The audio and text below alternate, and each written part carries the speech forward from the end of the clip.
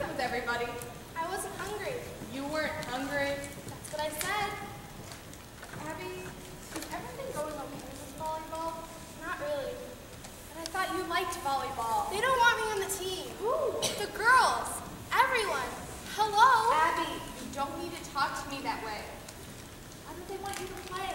They won the championship last year. They're probably just nervous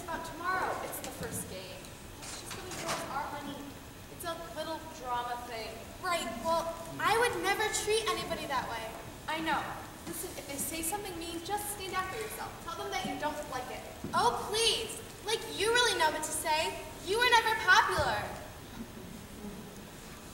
There's some cheese and crackers in the kitchen. I said I wasn't hungry. I know.